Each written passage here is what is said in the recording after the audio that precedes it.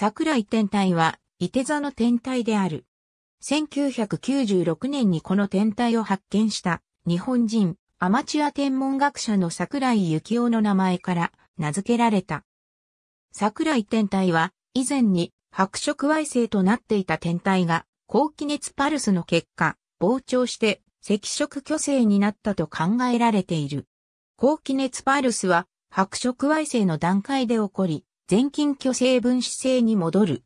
このような天体は数個しか観測されていないが、水素が欠乏し、ヘリウムやその他の金属が豊富な状態になる。このような天体は、最終的にヘリウムの豊富な白色矮星になると考えられる。全近巨星分子の高気熱パルスの段階にあると考えられている。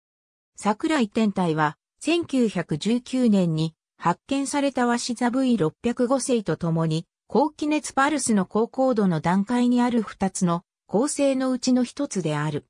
その他や財布 G 星等のいくつかの構成も最年少の段階にあるのではないかと疑われている。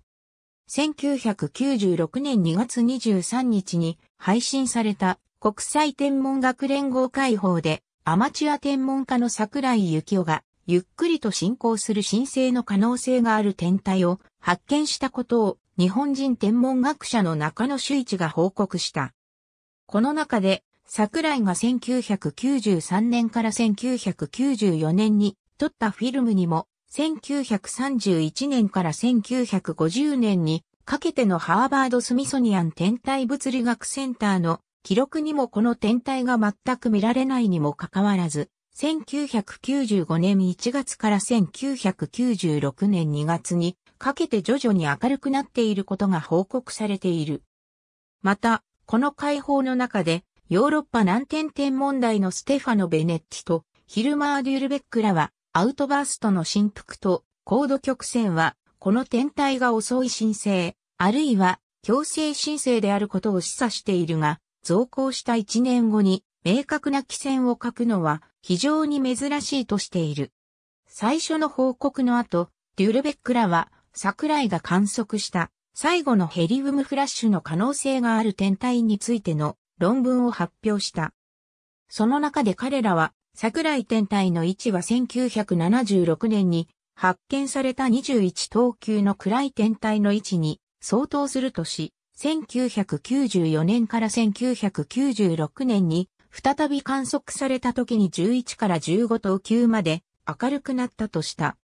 測定された竜束、角直径、星雲の質量等の解析によって5.5キロパーセクという距離や38太陽高度という高度が決定された。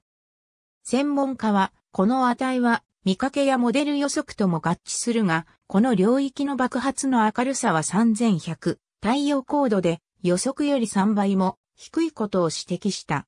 最初の赤外線観測については、1998年に近赤外と遠赤外の両方の分光画像が公開された。集められたデータは、桜井天体の増光がモデルの予測通りであることを示し、680系の温度の静周人が存在することが発見された。さらに2000年に公開されたイギリス赤外線望遠鏡による赤外線のデータから吸収線の変化の発見について議論された。桜井天体は全近巨星分子後の構成に分類され、白色矮星が冷却される短い期間の後、ヘリウム核フラッシュの段階にある。質量は約0.6太陽質量であると考えられている。1998年後半、工学的に深いゴミの殻が桜井天体を隠して構成の高度が急激に低下し、1999年まで可視光波長での観測ができなくなった。赤外線観測では、恒星の周りのゴミの雲は主にアモルファス型の炭素であることが明らかとなった。2009年、ゴミの殻はかなり非対称で、円盤の主軸は134度の方向を向いており、傾斜角は約75度であることが発見された。